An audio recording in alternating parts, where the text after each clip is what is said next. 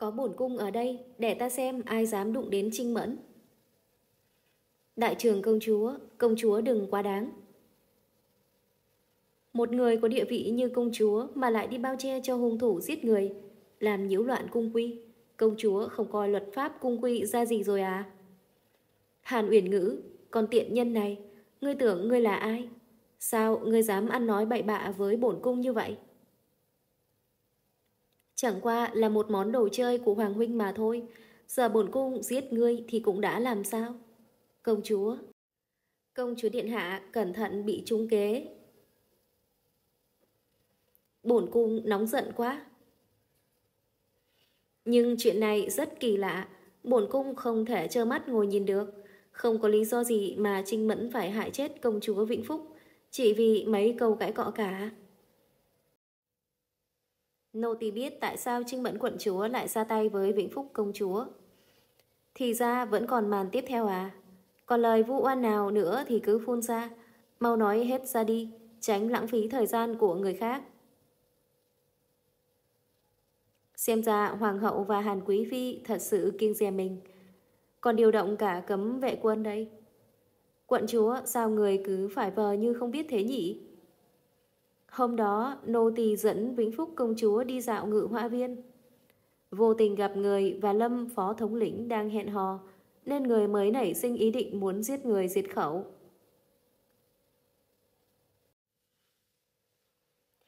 Thì ra là vậy. Lâm phó thống lĩnh Lâm Tự Hiên, con trai thứ của võ lăng tướng quân, từng là tham tướng của quân đội dòng chính của đội binh Tây Bắc của tỉnh Quốc Công, rất xứng đôi với quận chúa nha. Thảo nào quận chúa lại đòi ly hôn với Đức Tiểu Vương Sa. Đúng là bản tính trăng hoa, không biết xấu hổ. Người đâu cho truyền lâm phó thống lĩnh đến đối chất. Không cần đâu, chuyện bổn quận chúa không làm, bổn quận chúa tuyệt đối sẽ không nhận. Nếu hoàng hậu muốn kết tội bổn quận chúa thì hãy mời bệ hạ đến đây. Ngày nào bệ hạ cũng triệu kiến Trinh Mẫn. Hôm nay nếu bệ hạ không thấy Trinh Mẫn sẽ không yên tâm. Được, Trinh Mẫn đúng là quý nhân. Bổn cung cũng hết cách với ngươi rồi. Người đâu? Giam Trinh Mẫn quận chúa vào lãnh cung đợi bệ hạ định đoạt. Âm mưu, chắc chắn có âm mưu. Con tiện nhân đó chắc chắn đã cấu kết với Lâm Tử Hiên. Theo ta thấy phải nghiêm hình tra tấn, nung sắt chân kim, lột ra bọn chúng, thì bọn chúng mới khai ra chân tướng. Công chúa bình tĩnh, để sau rồi tính, làm vậy không có tác dụng gì đâu. Dù gì, người mà Mama và Phó Thống lĩnh Lâm Tử Hiên kia nhìn thấy cũng là Trinh Mẫn quận chúa. Tức là có người mạo danh cô, đúng vậy. Chắc là từ khi ta vào cung, người đó đã bắt đầu đóng giả ta. Lúc chúng ta không để ý, hắn đã dở trò ở những nơi chúng ta không ngờ đến, cho nên... Người nên để mắt đến những tai mắt bên cạnh của người đấy. Nếu không phải người của đại trường công chúa phản bội, thì sao có kẻ khác có thể nắm rõ nhất cử nhất động của mình được chứ? Bọn chúng đúng là chán sống rồi. Dám gài người vào bên cạnh ta. Yên tâm, bổn cung nhất định sẽ tìm ra được kẻ đó. Nhưng vấn đề bây giờ là chúng ta nên làm thế nào? Rất đơn giản, chuyện này là do Hoàng hậu và Hàn Quý Phi liên thủ làm ra. Vậy thì chúng ta chỉ việc phá vỡ liên minh giữa hai người bọn họ. Hai người bọn họ vốn dĩ đối đầu nhau. Công chúa nghĩ bọn họ thật lòng muốn liên minh với nhau sao? Cô muốn nói... Nhờ công chúa giao lá thư này cho Hàn Quý Phi giúp ta. Hàn Quý Phi là người hám lợi đen lòng. Cô ta không vĩ đại mà từ bỏ vinh hoa phú quý chỉ vì muốn báo thù cho tỷ tỷ và cháu gái như vậy đâu. Chuyện là vậy đấy ạ. Thần thiếp biết bệ hạ thương yêu trinh mẫn, nhưng việc này nghiêm trọng nếu thần thiếp không phạt thì sao có thể khiến người của lục cung nể phục được à? Vậy sao? Thế theo nàng nên giải quyết thế nào thì ổn? Chắc Trinh Mẫn chỉ nhất thời hồ đồ nên mới làm ra như vậy thôi. Nhưng chuyện này đã đồn ầm ra ngoài rồi. Tội danh mưu hại hoàng thân quốc thích không hề nhỏ. Nghe nói bên phía ngự sử đài đang viết tấu sớ, nếu bệ hạ muốn bảo vệ Trinh Mẫn, hay là hãy ban hôn cho Trinh Mẫn quận chúa và lâm phó thống lĩnh đi ạ? Cái gì? Bệ hạ chỉ cần nói là vì thương quận chúa sau khi ly hôn cô đơn lẻ chiếc, nên đã sớm có ý ban hôn cho lâm phó thống lĩnh rồi. Nếu đã là ý của người rồi thì ắt sẽ không còn cái danh vụng trộm nữa.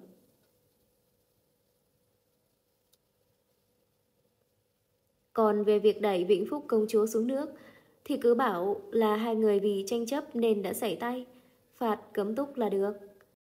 Đây là việc nằm trong phạm vi kiểm soát của thần thiếp. Tuy hoàng hậu có ý đối đầu với Mạt Nhi, nhưng đây là cách tốt nhất rồi. Hôm nay cũng đã muộn rồi, thần thiếp có chuẩn bị canh ngân nhĩ hạt sen cho bệ hạ, bưng lên. Bệ hạ, đứng dậy. Hoàng hậu nghỉ sớm đi, chậm về tam thanh điện tu luyện đây. Ngồi xuống.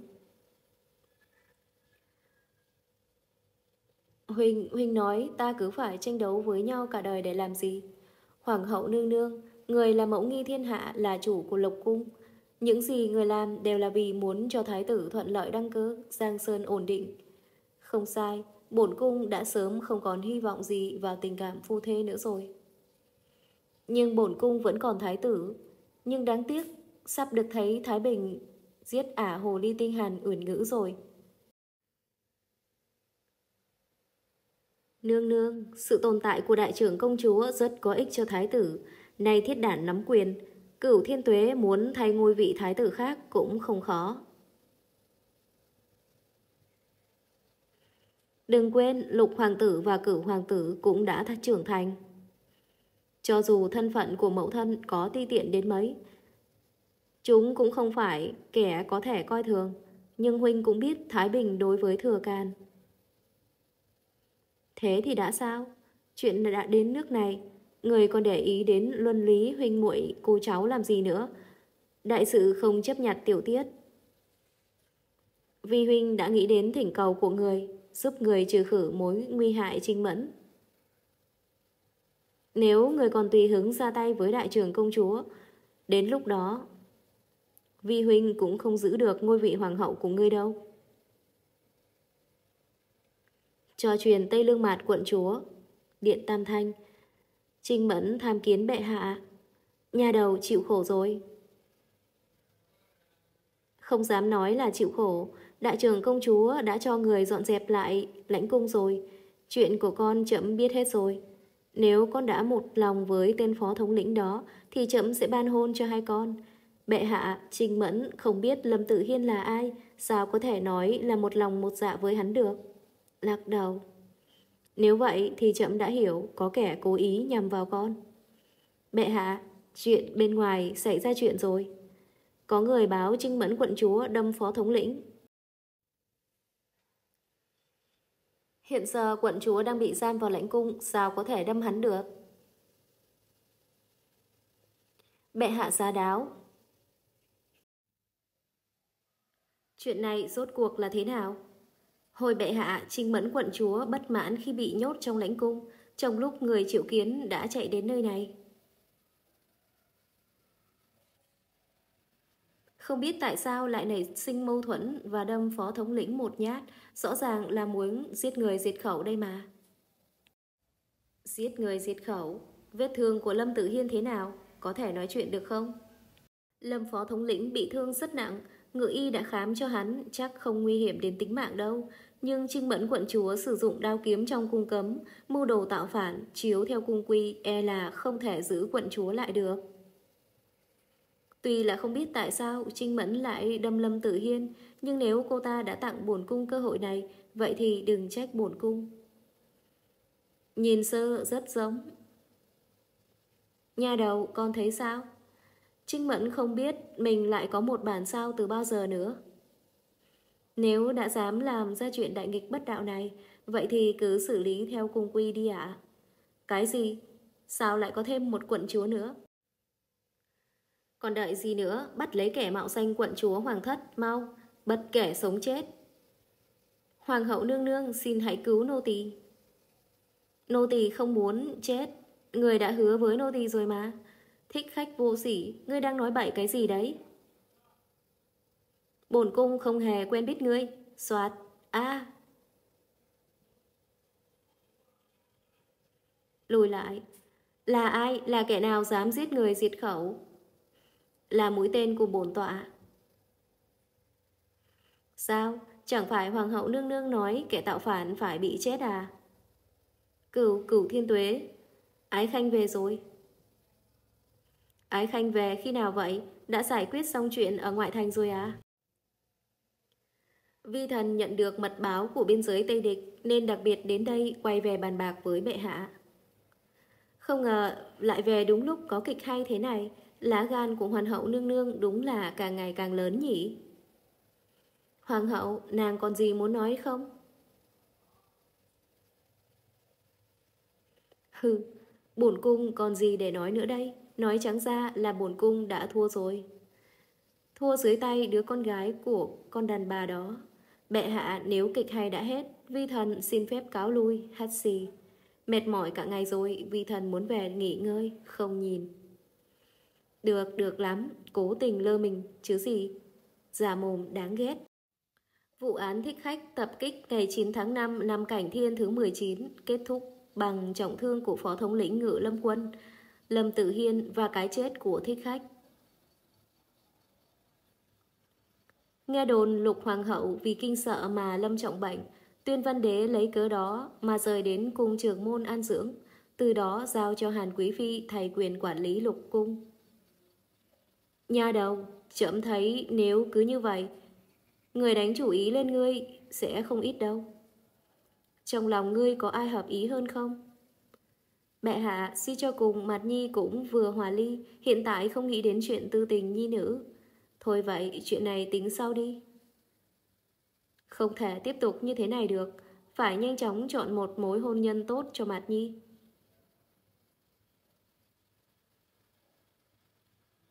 Soạt. Tiểu thăng tử, bưng ướt rượu lại đây.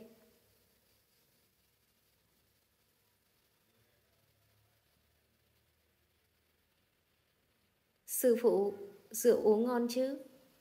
Mùi vị cũng không tệ. Người muốn nói gì? Không có gì, chỉ là muốn thử làm mấy chuyện sư phụ hay làm với đồ nhi thôi. Ngươi đúng là nha đầu khiến người khác chẳng thể nào thích nổi. Lớn lên xấu xí thì thôi đi, lại còn móm chó không mặc nổi ngà voi. Còn không phải nhờ có sư phụ ngài chỉ bảo sao, có thể làm sư phụ của chó chả phải cũng là chó à, như vậy cũng như nhau thôi. Cút! Cút thì cút. Sư phụ, người cũng đừng có ngâm nước lâu quá, không chừng ngâm thành xác chết trôi, có khi ảnh hưởng đến hình tượng hoàn mỹ của người đấy. Bắt lấy. Xoạt. Ấn chặt. Sao vậy? Không phải ban nãy bất ngờ lắm sao? Không phải. Vậy chính là người đang khiêu khích vi sư. Đúng thì sao, mà không đúng thì sao chứ? Người nghĩ người là trinh nữ hả? Đụng không được. Ngươi cái thứ khi sư diệt tổ này. Cắn, xì. Nếu sư phụ đã nói ta khi sư diệt tổ, Mặt Nhi đành thành thật mang lên cái danh này thôi, để sư phụ xem xem thế nào mới là khi sư diệt tổ chính hiệu. Soạt. Nhà đầu, con càng ngày càng hỗn xược rồi, sao không được à? Mặt Nhi rất muốn biết tại sao sư phụ lại tránh mặt con, người không thích Mặt Nhi chủ động sao? Dốc rách.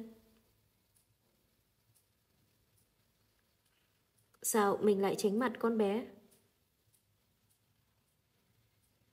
Đúng vậy, tại sao chứ? Không thể nói, cũng không cần nói.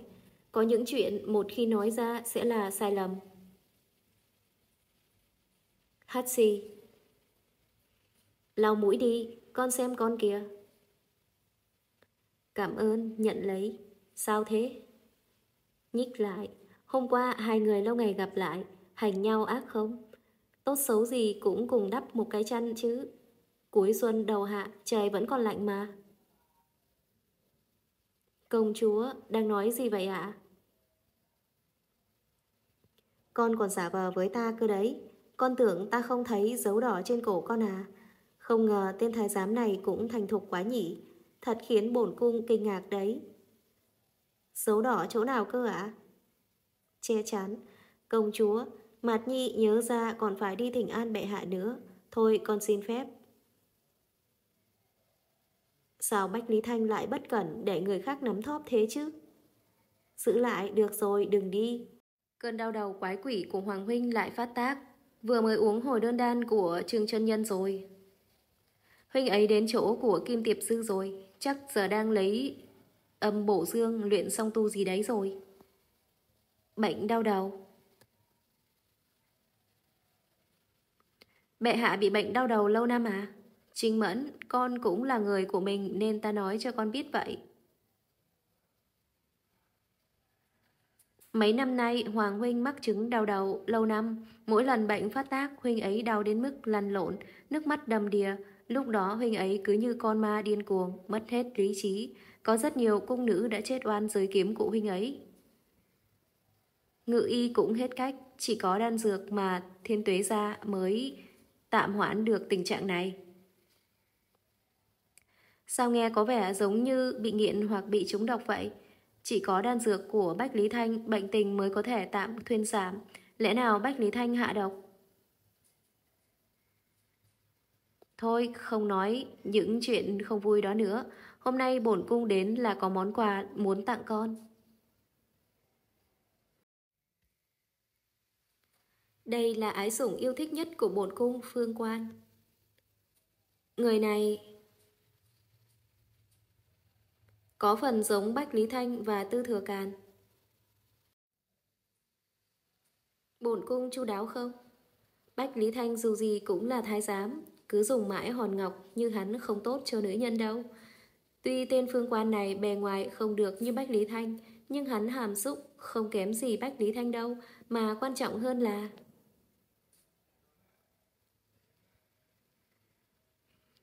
Phòng trung thuật của hắn là đỉnh của đỉnh đấy, chắc chắn sẽ khiến con đêm đêm tiêu hồn. Ý tốt của công chúa, Mạt Nhi rất cảm kích, nhưng... Bổn cung biết ngươi không phải là loại già mồm cãi láo. Phương quan chỉ mượn dùng ngươi ba tháng, ngươi muốn thử mùi vị của nam nhân khác nhau, càng phải thừa dịp làm càng sớm càng tốt rồi. Nghe ý của Hoàng Huynh là đang tính toán kiếm thêm một mối hôn sự tốt cho ngươi. Gì cơ? Rõ ràng mình đã từ chối hoàng đế rồi, tỏ rõ bản thân không muốn gả cho người khác lần nữa rồi mà. Thánh chỉ tuyển phu có lẽ sắp nhanh sẽ được ban xuống thôi, ngươi cứ ở đấy đợi tiếp chỉ đi. Phụng Thiên Thừa Vận, Hoàng đế chiếu viết, này có trinh mẫn quận chúa Tây Lương Mạt, tuổi vừa 16, hiền lương thục đức, xinh đẹp thông minh. Sau khi chậm thương xót cho Hòa Ly vẫn luôn một mình lẻ loi hưu quạnh, đặc biệt sắp xếp tuyển phu, phàm là nam tử có phẩm hạnh đa tài, vẫn chưa kết hôn đều có thể tham gia khâm thử. Bản quận chúa muốn đến điện Tam Thanh gặp bệ hạ. Quận chúa, thánh chỉ đã ban xuống thì không thể thu hồi được nữa, cho dù ngài có đi cũng chẳng có ích gì. Lại nói xem ý của vạn tuế gia trung quy ngài cũng nên tìm trốn trở về rồi. Ồ, là sư phụ sao? Sư phụ muốn làm gì? Hắn hy vọng ta được gả cho ai? Ấy, ý của thiên tế gia, nô tài sao dám tùy ý xen vào? Ta khổ quá, ta khổ quá mà. Sao lại muốn ta đến tuyên chỉ chứ? Vợ chồng thiên tuế gia các người cãi nhau, mắc gì phải lôi ta ra chém thớt? Hừ. Được. Vậy làm phiền công công chuyện lời đến sư phụ. Hắn muốn ta gả cho người khác, vậy ta sẽ gả cho người khác. Tên khốn Bách Lý Thanh này, vậy mà thật sự không đến tìm mình, kết. Tuyệt đối không phải mình muốn gặp tên khốn kia, lén lén lút lút. Chỉ là mình muốn hỏi rõ ràng, rốt cuộc hắn muốn làm gì với chuyện hôn sự của mình. Bốp. Ôi. Ui da, đau quá. Điện hạ, sao người lại ở đây? Sao, bản thái tử không thể đến gặp muội muội của mình sao? Ngược lại, ngự muội ăn mặc thế này là muốn đi đâu hẹn hò với ai sao? Bệ hạ say rượu rồi sao? Mùi rượu trên người tư thừa càn cũng quá nặng rồi. Nắm lấy, người thật sự là muội muội của bản cung. Tin nhảm đang xôn xao trong cung. Nó đều nói mẫu thân của ngươi và phụ vương bổn cung từng có nguyệt duyên, còn ngươi và bổn cung chạy trong mình chung một dòng máu. Tây Lương Mạt, bổn cung muốn ngươi trả lời ta, đây có phải là sự thật? Câu hỏi của điện hạ ta không cách nào trả lời được. Ta là nữ nhi của tịnh Quốc Công, hiển nhiên là đích nữ của phủ Quốc Công. Còn những chuyện khác Mạt Nhi không hề biết. Ta là nữ nhi của tịnh Quốc Công, hiển nhiên là đích nữ của phủ Quốc Công. Còn những chuyện khác Mạt Nhi không hề biết, ha ha. Điện hạ nói đùa rồi. Mạt Nhi hèn mọn nhưng cũng là một sinh mạng, tự nhiên thao túng bất kỳ ai. Nước sông không phạm nước giếng, nếu điện hạ đã đến giận chó đánh mèo, với ta không bằng quản cho tốt hoàng hậu nương nương.